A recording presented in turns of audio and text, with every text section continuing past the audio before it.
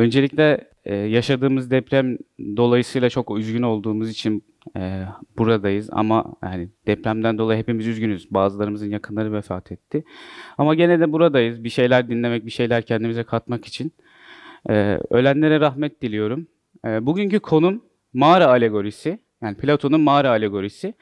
Bu konuyu seçmemde neden aslında e, yani Platon'un mağara alegorisinin yüzyılları ya bin yılları aşan bir e, anlatı ya da alegori olması. Yani bugüne de ışık tutması, e, çeşitli sinemalara, dizilere, psikolojiye girmesi, sosyolojiye girmesi, yani günümüze de ışık tutması, e, modern zamanlara da ışık tutması, postmodern zamanlara da ışık tutması. Hani herkesin bir şekilde bir yerinden tutup e, bu alegoriyi geliştirmesi ya da buna atıfla e, bazı şeyleri anlatmasıyla ortaya çıkan bir durum.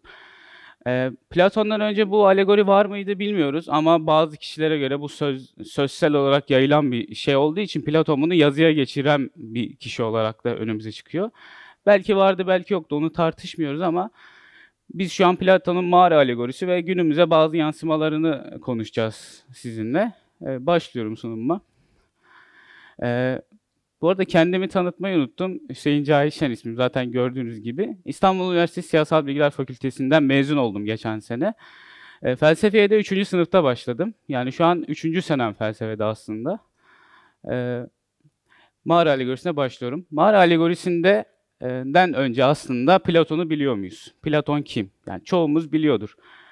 E, bir de Platon'un diğer bir adı var. Bunu biliyor muyuz? Bir ara Yok Eflatun bizim dememizde. Platon'a dilimiz varmadığı için Eflatun demişiz. Ee, başka bir asıl adı derler bazıları. Hani bir ara filozof Atakan diye bir çocuk vardı.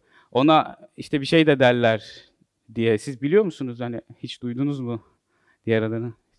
Aristokles de diyorlar aslında. Platon'un Platon'la denmesinin nedeni aslında beden eğitimi hocasının ona Plato adını takması. Bu ne kadar doğru ne kadar yanlış bilmiyorum. Bir anlatı aslında.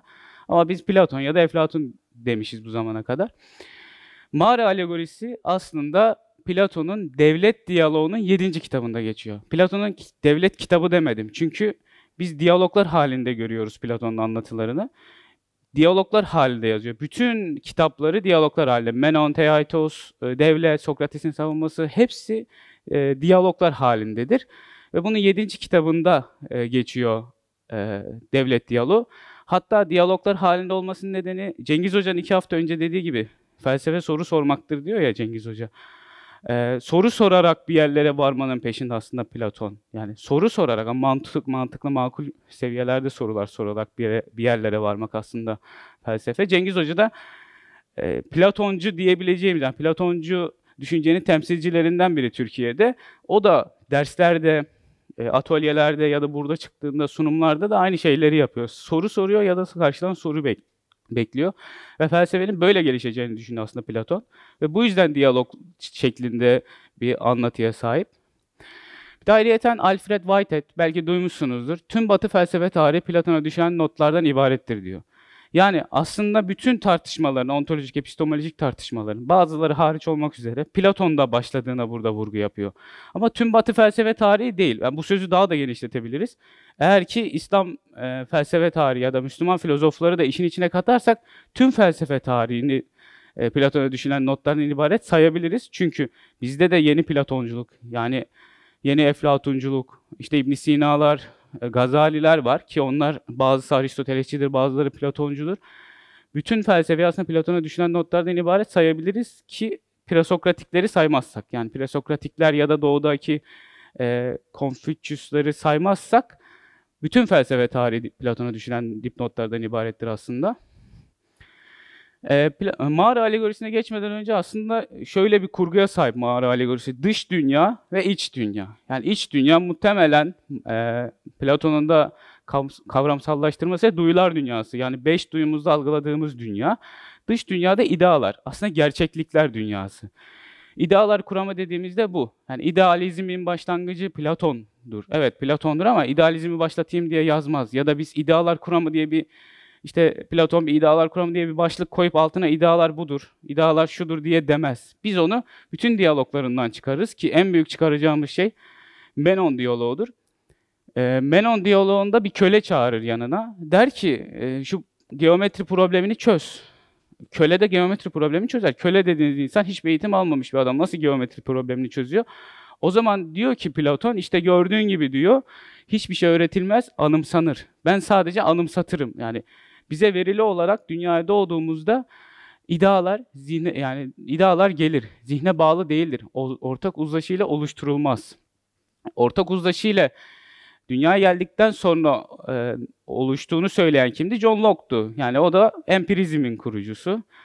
E, yani e, biz aslında idealarla doğarız demek istiyor Platon ki bu öğretilmez, anımsanır dediği mesele Sokrates'in ebelik meselesi. İki, iki hafta önce gene Cengiz Hoca e, sunumunda değinmişti. Ben bir ebeyim diyor Sokrates. Bu da aslında olan bir şeyi ben doğururum. Olan bir şeyi meydana getiririm, anımsattırırım diyor. Yani ben size yeni bir şey öğretemem diyor e, Sokrates ki Sokrates'ten etkilenen Platon. Yani öğrencisi bizzat. Ki Sokrates'ten sonra hayatı değişiyor. Sokrates'ten önce bir aristokrat ve siyasete atılıyor. Ama Sokrates'ten sonra daha farklı biri. Ee, bizim kurmadığımız, bizim toplumsal uzlaşmamızın ötesinde varlığın aslı, yani idealar kuramı dış dünya, mağaranın dışı. Ee, oluş ve bozuluşa tabi değil. Asla oluşmuyor ya da bozulmuyor. Zamandan münezzehtir. Bunlar nelerdir? Mesela idealar idealar derler her zaman. Matematik, doğa, sanat, aşk yahut tümel şekillerde bir formlar. Mesela insan ideası yahut işte ağaç ideası e, ya da sandalye iddiası. Herkesin zihninde bir sandalye iddiası vardır ya da bir formu vardır, sandalye formu ve bizim zihnimizde o vardır. O dünyaya aslında Platon ulaşmamızı istiyor. O dünyaya da idealar dünyası diyor. Yani mağaranın dışı. Mağara alegorisine girecek olursak yavaştan, e, insanlar çocukluk, çocukluklarından beri ayaklarından, boyunlarından zincire vurulmuş bu mağarada yaşıyorlar. Ne kımıldanabiliyorlar ne de burunlarının ucundan başka bir yer görüyorlar. Öyle sıkı sıkı bağlanmışlar ki kafalarını bile oynatamıyorlar. Kafalarını bile oynatamıyorlar. Sadece önlerinden geçen şu görüntüleri, göstergeleri aslında görüyorlar. Bunlar ise dış dünyanın yani idealar dünyasının ateşle beraber yansıması. Ki bu ateş de sahte bir gerçeklik yaratarak bize e, bu gölgeleri gerçekmiş gibi sunuyor. Yani bu gölgeler aslında dış dünyanın yansımaları, sahte bir gerçeklik. Ama bir gerçeklik gibi geliyor gözümüze. Ama bir sahte, e, sahtelik.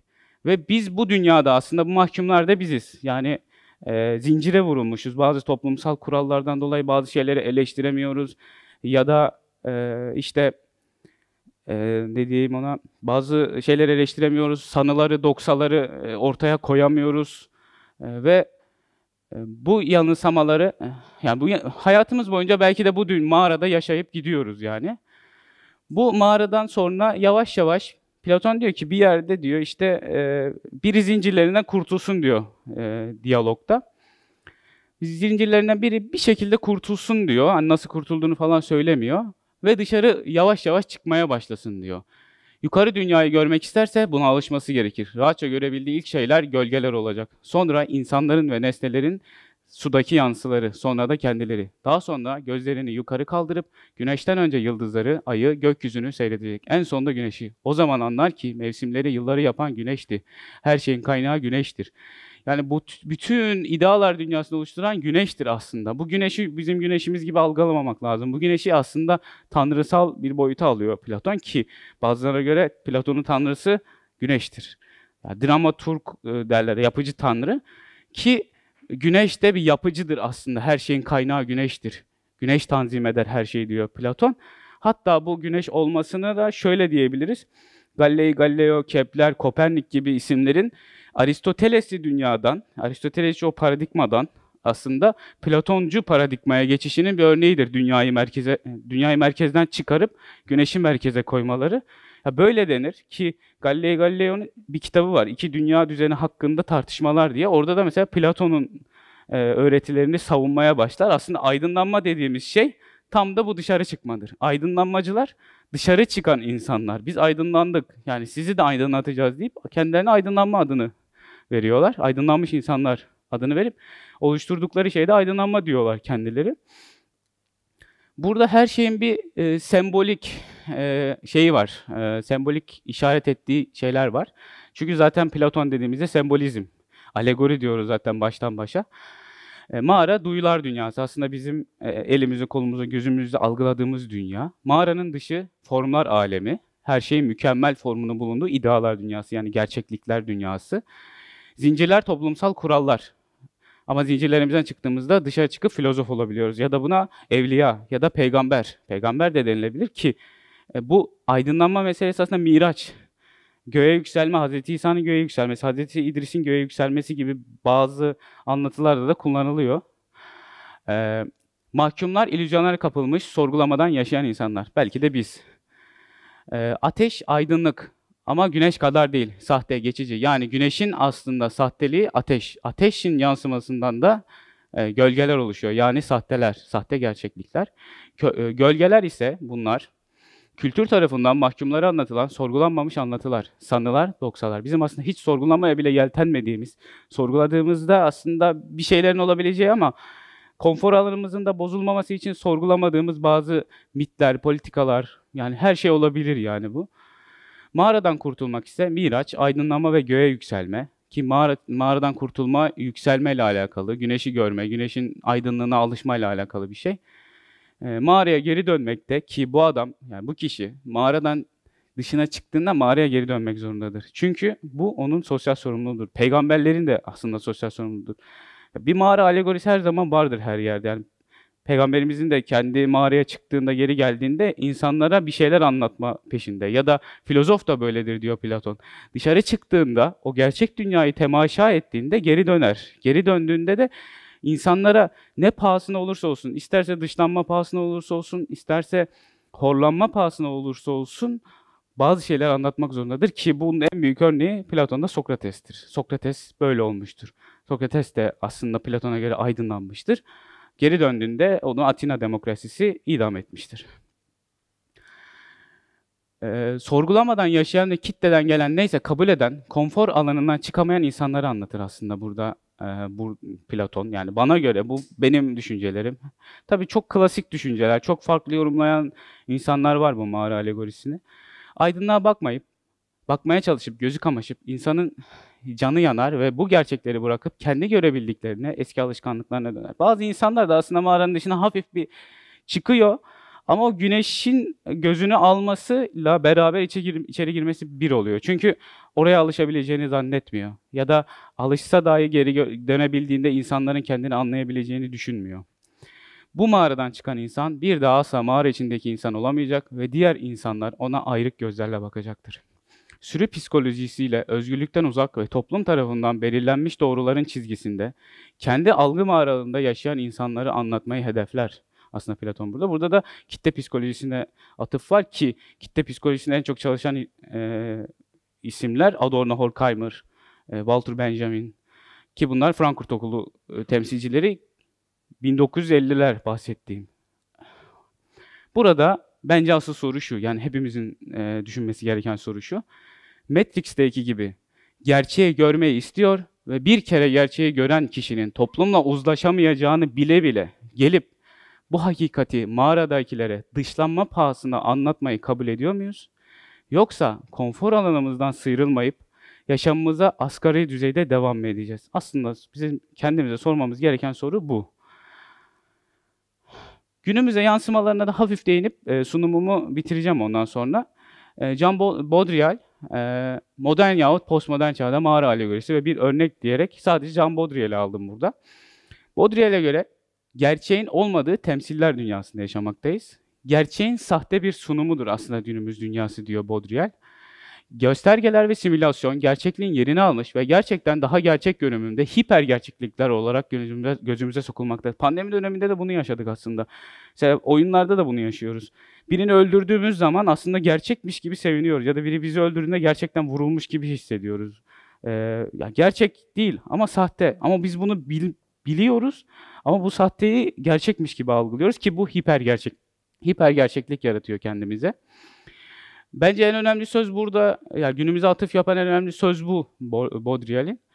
Gölgenin 90'ın artık sadece mağaranın bir duvarında değil her yerinde olduğunu, hangi gölgenin hangi nesnenin yansıması olduğunu tarif etmemizin pek mümkün olmadığını, zincirlerimizin de gittikçe daha konforlu hale geldiğini ancak yine de var olduğunu iddia edecekti. Platon'un mağara duvarındaki yansımalarına bakan toplumun yerini e, Jean Bourdieu'nin TV izleyen tüketicileri alır. Aslında biz. Yani TV izleyen tüketicilerle o mağara alegorisindeki içerideki mahkumları biz olarak düşünebiliriz. Ki TV'lerde de televizyonlarda da bize e, böyle sunuluyor. Yani gerçekliğin sahte bir sunum. Mesela köşk var ama bu köşk bizim değil. E, bize yansıtıldığı şekilde dünya değil. Dış dünya böyle değil. Ama bize yansıtıldığı şekilde bazı şeyleri biliyoruz.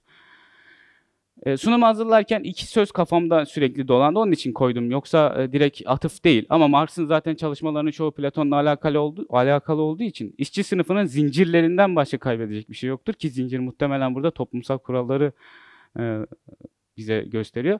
Recep Fazıl'ın da her şeyin sa- sahtesi aslında mutal, musallat olmuştur diyor. Galiba sahte kahramanlar ya da mukaddes emanet. Tam yerini bulamadım.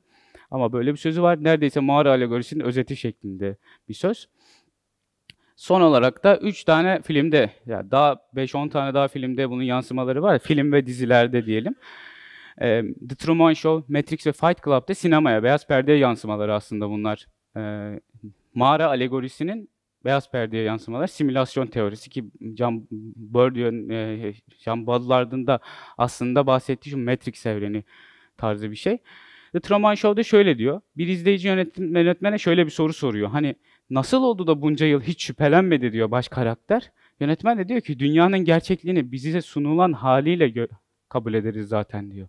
Yani biz aslında yıllar boyunca hiç sorgulamadan yaşarız. Biz bunu bilmeyiz de sorgulamadığımızı.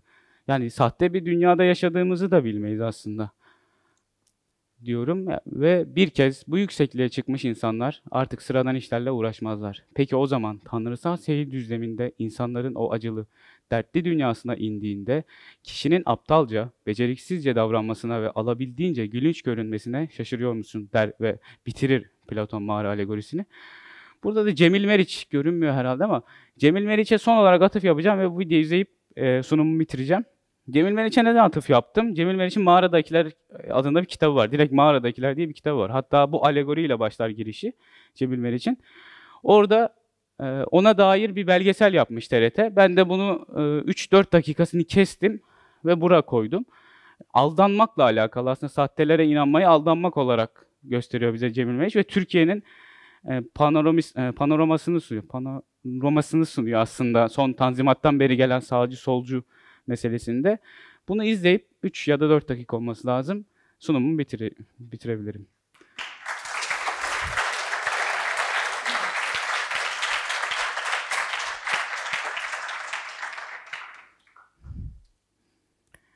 Evet, belirlediğiniz için teşekkür ederim. Sorusu olan varsa inşallah.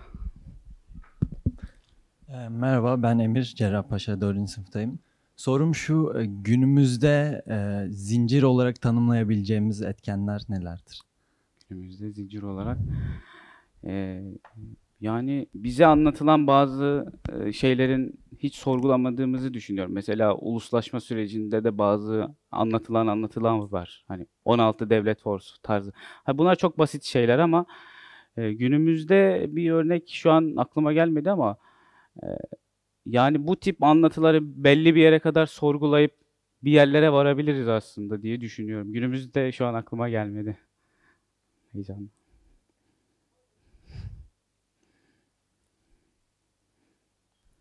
Merhabalar. Bilal Kaya Ticaret Üniversitesi'nde psikoloji 2. sınıf öğrencisiyim. Ee, günümüzde bu post çağında, gerçeğin buharlaştığı çağda bu Platon'un mağara alegorisi e, ne kadar geçerlidir? Geçerliyse bu mağaradan çıkan filozof dediğimiz kişi e, kimdir ve e, boynunda zincirle bekleyen o insan tam olarak e, karşısındaki yorumladığı şeylerin bin bir çeşit olduğu e, dünyadaki rolü nedir? Rolü nedir? Yani e, rolü nedir pek mantıklı makul olmadı şu an ama bu alegori hala geçerli mi onu sormak istiyorum. Ben bu alegorinin hala geçerli olabileceğini yani her yere uyarlanabileceğini düşündüğüm için zaten simülak ve simülasyon teorisi Can Baldlard'ın e, teorisini aslında anlattım. Hala gerçek. Hala günümüzde de ki online yine bir online döneme girdik hala. Karşımızdakinin gerçek olması. Evde oturduğumuz yerden aslında karşımızdaki bilgisayar oyunundaki o sahtelikleri gerçekmiş gibi algılayıp bunu kendimize kendimizden bir hiper gerçeklik üretmemizden bahsettim. Hala ben geçerli olduğunu düşünüyorum. Tabii farklı düşünenler de olabilir.